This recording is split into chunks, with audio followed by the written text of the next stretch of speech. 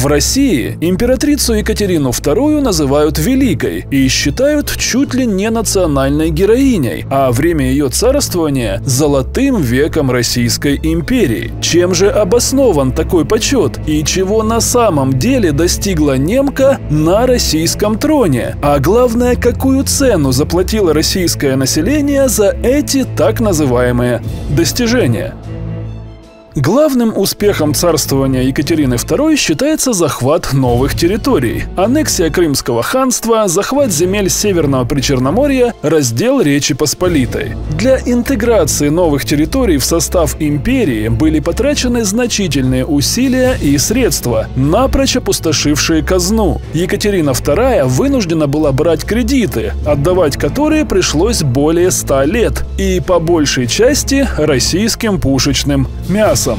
Чтобы проводить агрессивную внешнюю политику и удерживать захваченное, возникла потребность в увеличении армии. Она выросла вдвое. Был заново построен флот, поскольку тот, что строил Петр, почти окончательно сгнил еще во времена царицы Анны Иоанновны. Екатерина II пришла к власти в результате переворота, узурпировав власть, поэтому вынуждена была всячески задабривать господствующий класс Московии – дворянство. При ее правлении дворяне получили целый ряд прав и вольностей. Отсюда и идут представления о якобы золотом веке Екатерины. Этот так называемый «золотой век» касался только господ. Для всего остального населения Российской империи продолжался век, который было бы уместнее назвать каменным.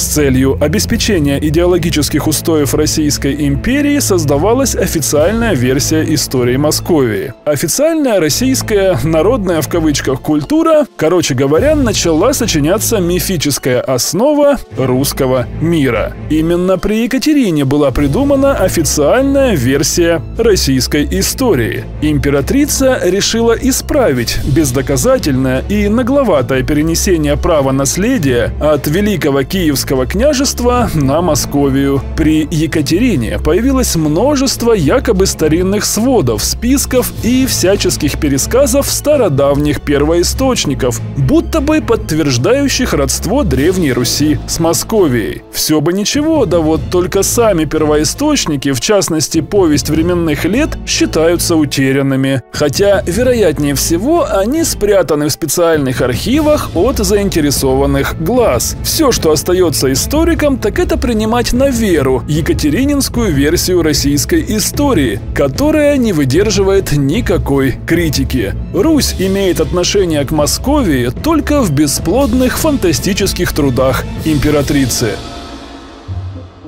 28 июня 1762 года Екатерина II пришла к власти в результате государственного переворота. Мятежниками был отстранен от власти и вскоре убит законный царь Петр III. Впоследствии Екатерина и ее сторонники не пожалели усилий, чтобы выставить Петра ни на что не способным дурачком. На самом деле Петр III тщательно готовился к своему царствованию, разработал свою программу реформ, но по помехой стала его собственная жена. Чтобы оценить масштаб изменений, которые мог совершить император Петр III, стоит вспомнить хотя бы упразднение тайной канцелярии, царской охранки, которая с помощью террора поддерживала московское самодержавие. На очень короткое время, единственный раз за всю историю, Московия оказалась без цепных псов правящего режима. Однако через несколько месяцев после отмены тайной канцелярии, лишенного трона Петра III убили любовники Екатерины с ее согласия. Екатерина II по своей родословной не относилась к дому Романовых, она была только женой царя. После гибели Петра III царский трон должен был унаследовать его сын, Павел I. Екатерина не захотела быть регентом своего малолетнего сына и объявила императрицей себя. Более того, она серьезно думала о том, чтобы лишить Павла права на царский престол. При Екатерине II было осуществлено еще одно преступление, серьезно подрывающее легитимность царской власти. Вследствие устроенной провокации был убит законный император Московии Иван VI, отстраненный от власти еще предшественница Екатерины II царицей Елизаветой Петровной. Действия, направленные на узурпацию власти Екатериной, подрывали как законность царской власти, так и саму идею правового регулирования наследования престола. Рыба гниет с головы. Пренебрежение законами на самом высоком уровне делает невозможным формирование правового сознания в обществе. Екатерина продолжила старую традицию правового беспредела Золотой Орды. Там всегда был прав тот, кто имел большую силу. При Екатерине коррупция приобрела невиданные до того размеры. Хищение государственной казны измерялось сотнями тысяч рублей. Граф Федор Растопчин в феврале 1796 писал, что один только Дерибас, основатель Одессы, ворует до 500 тысяч рублей в год.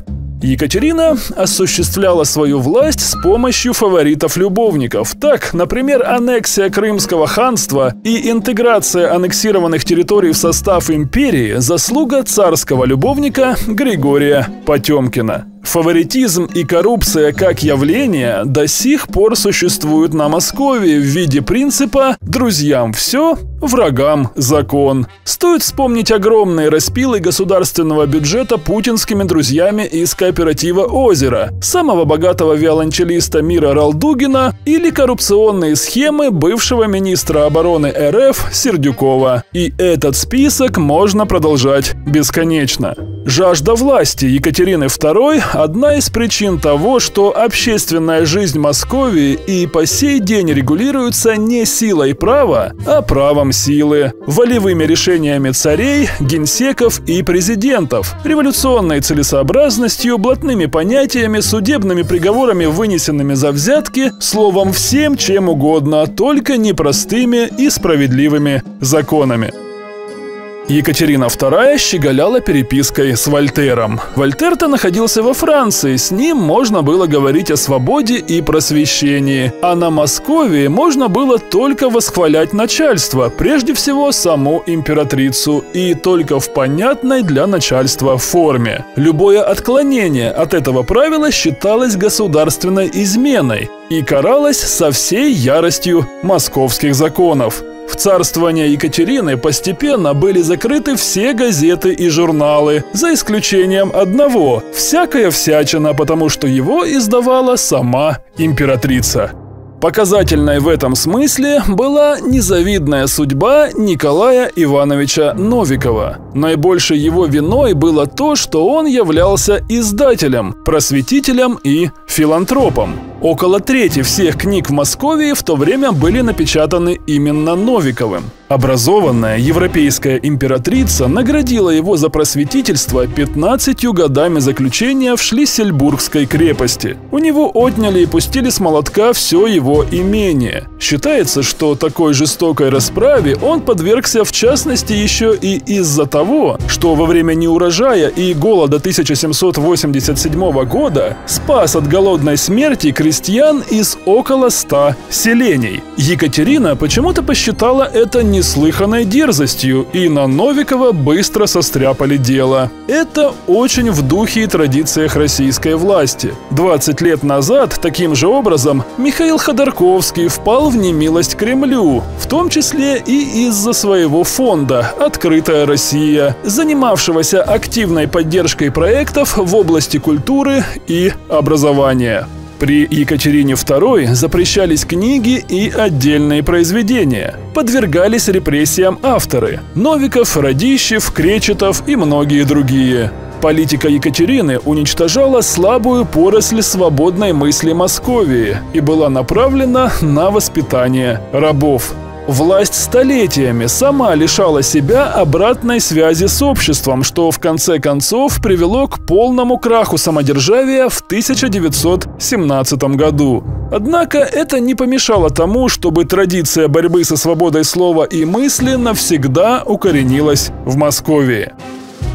Для удержания захваченной власти Екатерина была вынуждена всячески задабривать господствующий слой Российской империи – дворянство. Окончательно права московских помещиков были закреплены грамотой на права, вольности и преимущества благородного российского дворянства от 1785 года. Этим документом подтверждались привилегии, предоставленные дворянам предшественниками Екатерины, освобождение от подушной подати и неограниченные права на владение собственными поместьями, плюс освобождение от обязательной государственной службы. От себя Екатерина II добавила право собственности на землевладение и земельные недра в помещичьих имениях, право на сословные учреждения, освобождение от телесных наказаний и конфискации имущества по уголовным делам, освобождение от военных постоев и другое.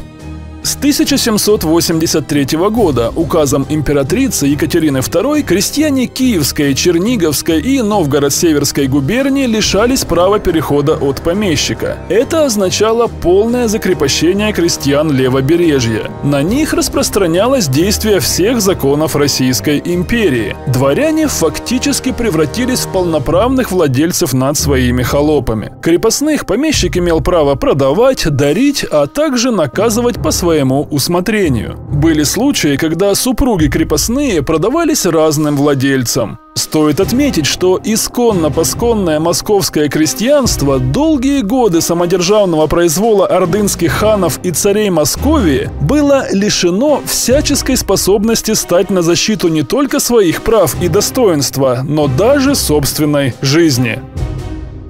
Большинство порабощенных Москвой народов время от времени восставали против колониальной эксплуатации, и только московицкие холопы молча терпели все. Наибольшее, на что они были способны – сжечь и ограбить усадьбу помещика. Да и то отважные московиты способны были создать сравнительно небольшие разбойничьи ватаги. На систематическое массовое сопротивление московицкие холопы были не способны. Все войны, которые марксистские историки окрестили якобы крестьянскими, были войнами казаков и других порабощенных народов против Москвы. Русские крестьяне в тех войнах разве что разоряли господские имения, чтобы потом удрать, куда глаза глядят. За всю историю Московии было всего лишь одно восстание, собственно, русского крестьянства. Это Тамбовское восстание против большевиков 1919 года. Крепостная система была разрушительная и для дворян. Господа приспособились хорошо жить за счет полуголодных холопов. Зачем тратить деньги на модернизацию сельского хозяйства? Зачем облегчать жизнь неблагодарному крепостному? Пусть не ленится и работает, и все будет хорошо. Сельскохозяйственные машины стоят денег, и неизвестно еще, когда оправдают потраченные на них средства. Так, крепостничество помешало формированию предпринимательской инициативы у дворян. Они еще долго оставались с аграрными технологиями Средневековья. Наивысшей точки дворянский произвол достиг в действиях Дарьи Салтыковой, Салтычихи. Она пытала и убивала своих холопов, руководствуясь лишь собственной прихотью. Точное количество замученных людей неизвестно. Царский суд признал ее виновной в 38 убийствах и еще подозреваемой в совершении убийств 26 человек. Довольно жесткий приговор Салтыковой, пожизненное заключение в замурованной келье монастыря компенсировался плохим его выполнением. Немногие знают, что монастырь, в котором отбывала заключение Салтычиха, был тот самый, на который она еще до наказания жертвовала огромные денежные суммы. Неудивительно, что Салтычиха прожила в монастыре 33 года. Она пережила и саму Екатерину II, и ее сына Павла I.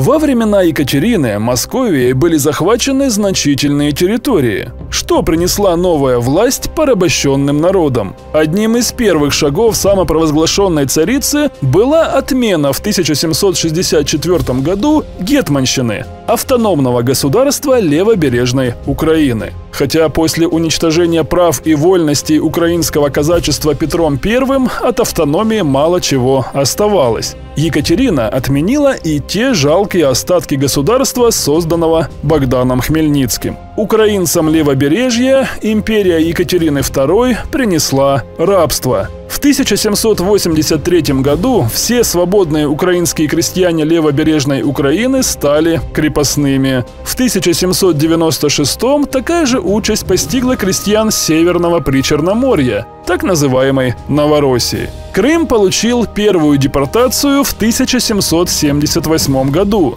Чтобы подорвать экономику Крымского ханства, генерал-каратель Суворов принудительно переселил в Приазовье все немусульманское население Крыма. Кстати, видео о карателе Суворове ищите на нашем канале. Для удобства оставлю ссылку в описании. Аннексия Крыма стала настоящей национальной катастрофой для крымских татар. Нация, которая еще недавно на равных соревновалась с Московским царством, оказалась на грани выживания. В наше время крымские татары – национальное меньшинство на своих исконных землях. Это стало следствием многовековой политики московского империализма. Сегодня, после аннексии Москвы Крыма в 2014 году, национальный гнет крымско-татарского народа московскими империалистами вышел на новый уровень. Вследствие Екатерининской национальной политики на грани исчезновения оказались нагайцы. Генерал-каратель Суворов устроил настоящий геноцид нагайского народа, от которого они до сих пор не оправились. Усилиями Екатерины была уничтожена Речь Посполитая, общее государство поляков, литовцев и белорусов. Царизм вел целенаправленное наступление на права и вольности казачества. Это вызвало закономерное сопротивление казаков, живших на территории современной РФ, и стало причиной Большой Московско-Казацкой войны, известной в истории как восстание Емельяна Пугачева 1773-1774 годов. После поражения Пугачева в войне по землям Яицкого, Донского, Волжского, Башкира-Мещерятского и Оренбургского казачества прошлись отряды царских карателей. Тысячи казаков были убиты или арестованы. Царизм взял курс на превращение казаков из отдельной восточнославянской нации в государевых служивых людей. Под удар попали и украинцы. По приказу царицы 16 июня 1775 года была уничтожена Запорожская сечь, а казацкие лидеры приговорены к каторге. 9 июля 1783 года указом военной коллегии уничтожены остатки украинских вооруженных сил. Казацкие полки левобережья превращались в регулярные воинские части московской армии.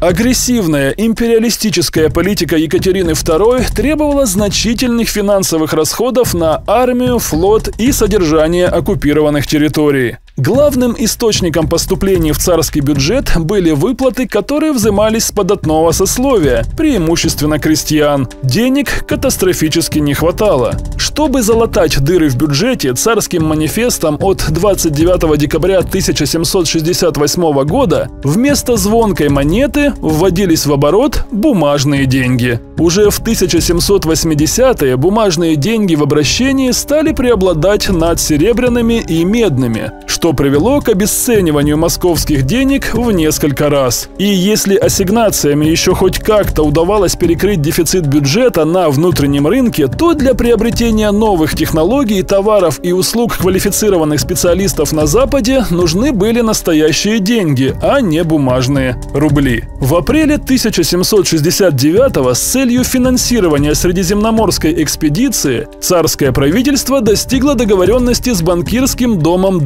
Десмет из Амстердама про заем в 7,5 миллионов гульденов. Это около 3,5 миллионов рублей серебром. Впоследствии банкиры предоставили новые кредиты Екатерине II, за что получили титулы наследственных баронов Российской империи. Расплатиться по этим и новым кредитам московским царям удалось только через 122 года, в 1891. А до этого времени они вынуждены были погашать кредитную задолженность пушечным мясом своих рекрутов. Финансовая политика Екатерины II поставила денежную систему Московии на грань глубокого кризиса. Экономика Российской империи оставалась преимущественно аграрной. Городское население империи еле-еле составляло около 4% населения. Отечественное производство промышленных товаров не могло полностью удовлетворить потребности империи. Московская промышленность при Екатерине II работала на технологиях времен Петра I. Это привело к тому, что главные источники московского экспорта чугун и сукно сильно уступали в качестве европейским и стремительно теряли конкурентоспособность. Поскольку Российская империя нуждалась в ввозе промышленных товаров из-за границы, торговый баланс был не в пользу Московии. Царское правительство пыталось выровнять диспропорцию торгового баланса за счет сельскохозяйственной продукции, преимущественно зерна. Такая политика привела к разорению крестьян. Доходы от хлебной торговли получали помещики и безумному росту цен на хлеб. В результате крестьянство Московии страдало от массового голода, что часто означало смерть от недоедания. Вспомним, что закупать хлеб за границей, чтобы крестьяне в «великой» в кавычках России массово не погибали от голодной смерти, начали только после смерти Сталина, во времена режима Никиты Хрущева. Стоит добавить, что на собственной персоне Екатерина II не экономила. Для царских прихотей, на гонорары любовникам, на различные предметы роскоши и произведения искусства тратились сотни тысяч рублей. За эти деньги можно было бы прокормить тысячи крестьянских семей. Но зачем такие бесполезные и убыточные хлопоты ее величеству? Последствия более чем 30-летнего бездарнейшего правления Екатерины II удручающие за счет существенного ухудшения качества жизни населения, финансового и экономического упадка империи, окончательного закрепощения крестьян и развращения помещиков, Екатерине удалось раздуть размеры Российской империи и увеличить армию. Рожденное Золотой Ордой Московское государство сохранило курс на неограниченную царскую власть, авторитарное неправовое государство и холопское общество с отсталыми формами экономического хозяйствования и колониальной эксплуатации. Если Екатерина была таким молодцом, как о ней пишут российские историографы, то почему же эта мощная в кавычках расцветшая Российская империя, якобы построенная ею, так легко развалилась всего лишь через 120 лет после окончания правления императрицы? Спасибо за внимание, ставьте лайки, подписывайтесь на канал и жмите на колокольчик, чтобы не пропустить новое видео, а также поддерживайте автора на Patreon, где можно смотреть дополнительный контент, а также ролики до официальных премьер. Для тех, кто любит читать, текст ролика будет доступен на сайте. Всем добра и здоровья!